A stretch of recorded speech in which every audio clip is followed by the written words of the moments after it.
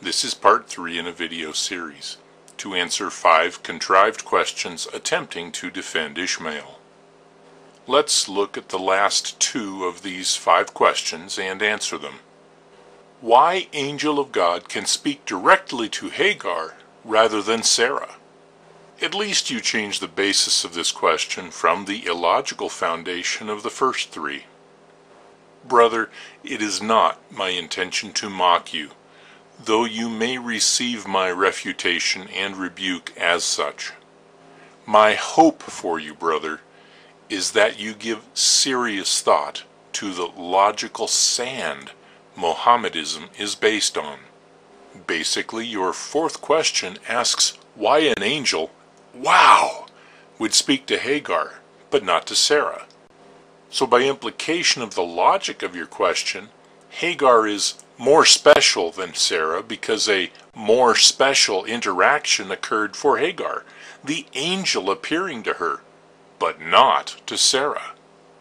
At first glance, that would seem really important, right? I mean, I have never seen or spoken to an angel. And I would surely think it was pretty special if an angel of Jehovah ever appeared to me. Do please let me know if you think I am misrepresenting your position and the logical scimitar you are hoping to wield. If the appearance of an angel is significant, do you think the words the angel said are important? This is where first ideas are like sharp scimitars, brother. You should not run with them. Genesis 16:7. Now the angel of the Lord, and that word is Jehovah, the tetragrammaton, found her, meaning Hagar, by a spring of water in the wilderness, by the spring on the way to Shur. He said to her, so this is the angel speaking. The angel's words are important. He said, Hagar, Sarah's maid, where have you come from and where are you going? Brother, the angel seems unaware that Hagar was the wife of Abraham. Think how important Abraham was, brother. In Islam, Abraham is a prophet, right? In Islam, men are much more important than women. The woman's identity comes from the man she goes to bed with, the man who plows her as a tilth.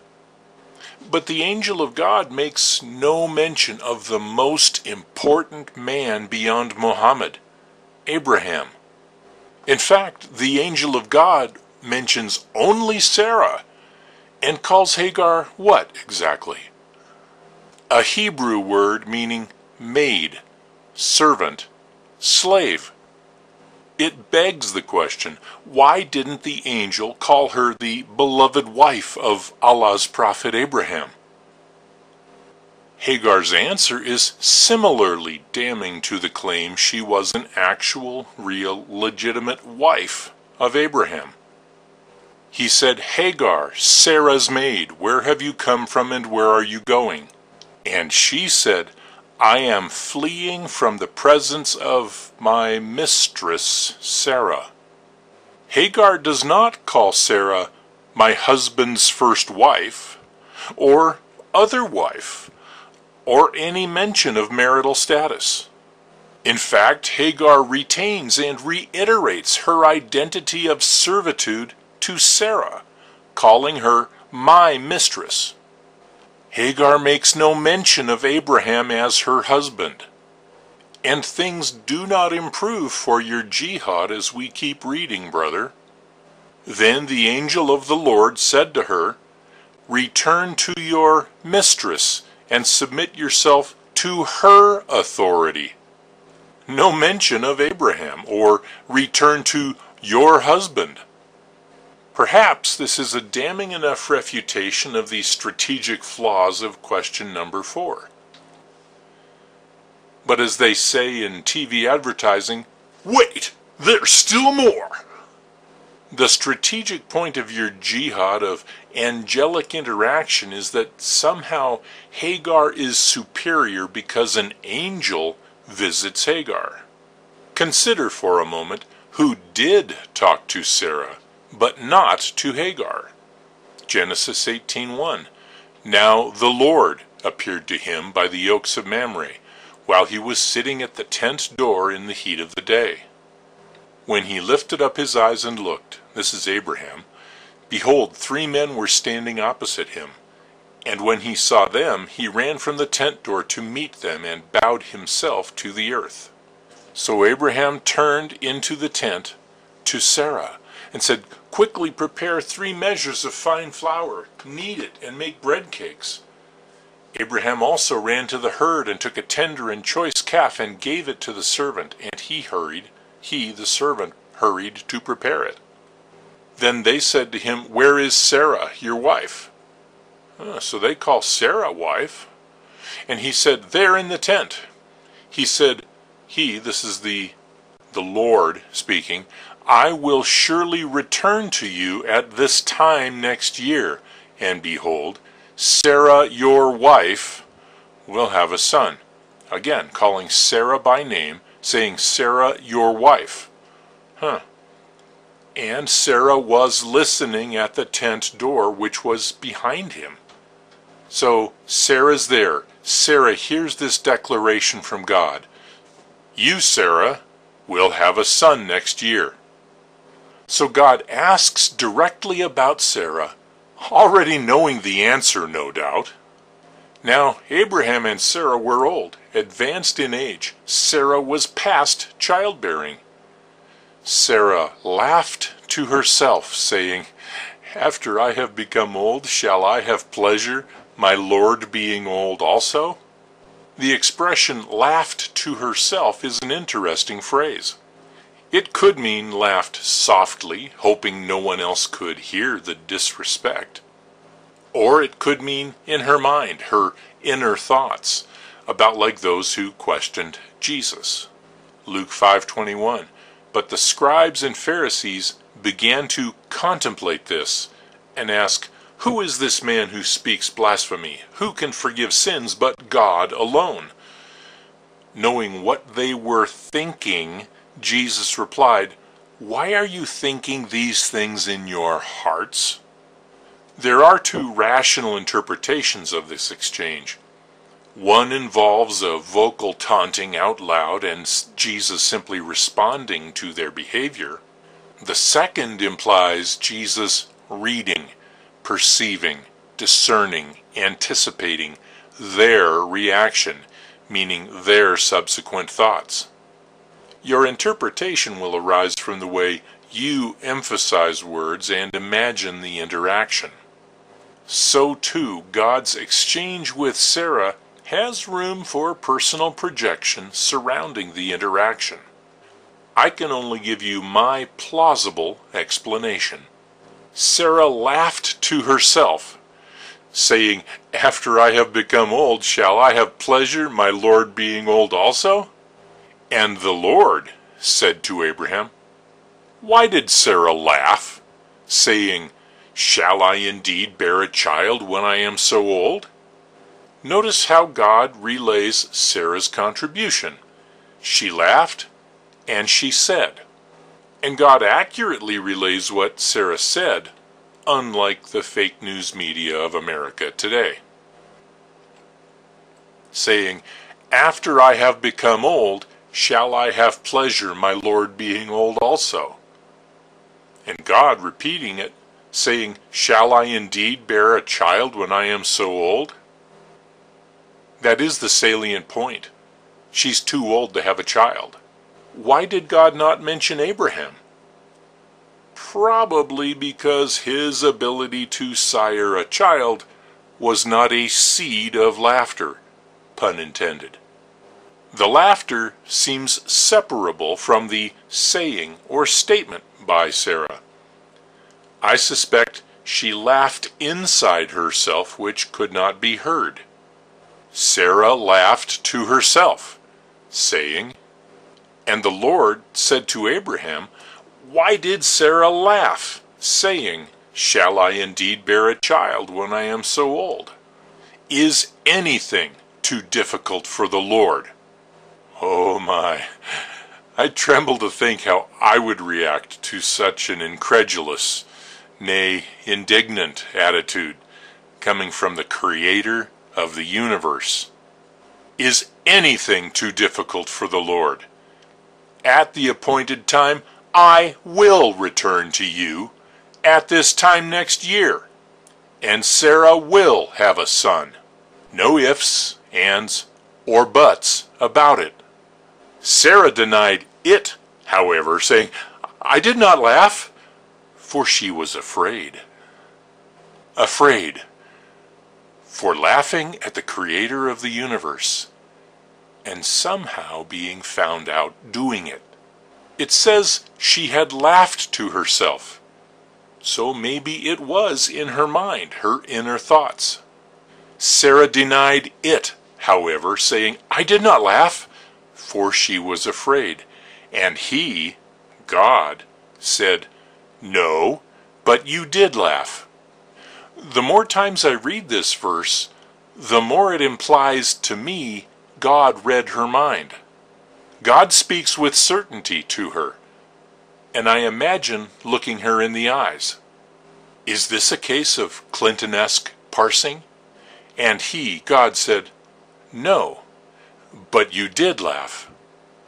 How could God say, No, meaning he agreed she did not laugh, and then immediately follow with, But you did laugh? Picture God's hand with V-shaped fingers. Point to his eyes at eye level, then her eyes, then his eyes again, and a wry smile creeping around the corners of his mouth, and a silent, knowing nod. Yeah, I know what you were thinking. The interaction seems plausible to me. Plausible at each point for each phrase to make the most sense. Given God's cheeky interaction with Sarah, compare that to the angel's interaction with Hagar. The angel confirms the servitude of Hagar and omits any link to Abraham, while God the Creator directly talks to Sarah, even having a potentially contentious yet tolerant exchange.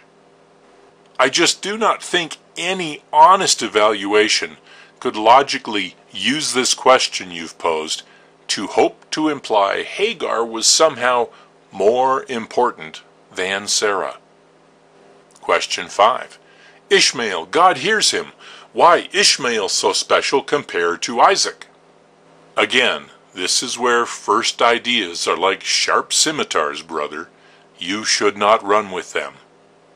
Give this but 30 seconds of thought and many, many glaring errors will jump out at you. God hears all men, women and children. And as we just saw, God heard Sarah laughing at him, potentially in her head. But let's visit the genesis of this question. Again, pun intended. I looked for any verse that mentioned God hearing Ishmael. Couldn't find one. But I did find this. Genesis 16:11. Then the messenger of the Lord said to her, meaning Hagar, You are pregnant and you will give birth to a son. You will name him Ishmael, God hears, because the Lord has heard your cry of distress. That's from the God's Word translation. These translators include their clarification. By implication, Ishmael means God hears. But it does not mean God hears Ishmael, because that would be logically redundant and repetitive. If Ishmael means God hears, the statement God hears Ishmael translates to God hears God hears. That also rapes the direct context of what the angel said, brother. You will name him Ishmael, God hears, because the Lord has heard your cry of distress. God heard Hagar's cry. The angel says, You will give birth to a son. Ishmael was not born yet. Therefore, this verse does not say, or mean, or imply, or support the jihad that God hears or heard Ishmael over Isaac, brother. But, brother, you must hear what Prophet Moses recorded of the angel's message, and judge for yourself if the angel was true. He, meaning Ishmael, will be as free and wild as an untamed donkey. Some translations say jackass. He will fight with everyone, and everyone will fight with him. He will have conflicts with all his relatives. Is this not a perfect description of the general behavior surrounding the offspring of Ishmael? Do not Shia murder Sunni, and Sunni murder Shia? Do they not all claim descent from Ishmael, the donkey? If you have an issue with God's declaration over Ishmael, take that up with him. I suggest you objectively examine it for accuracy. Then dispassionately cogitate on it for applicability. Either way, I have shown the phrase God hears does not imply or impart any superior position to Ishmael over Isaac. I have challenged you now four times to answer the following question. Where did Abraham ever call Hagar his wife? You have not answered the question, and now you have desperately demanded I answer five questions you invent. I have addressed all five questions, brother, and proven none of them has merit. I did so, brother, not to embarrass you, but to prove I love you in God's love. You matter to God, your Creator. God, who sent the prophets. God, who came in the flesh just as He said He would. This is about you, brother, and the fact God, your Creator, has guided you to watch this, so that you may hear the truth. What you do with God's guidance is up to you. I have presented the truth to you with clarity, patience, and God's love. May the Spirit of God open your eyes to the light, your ears to the truth, and your heart to His Son, the Lord Jesus Christ. Amen.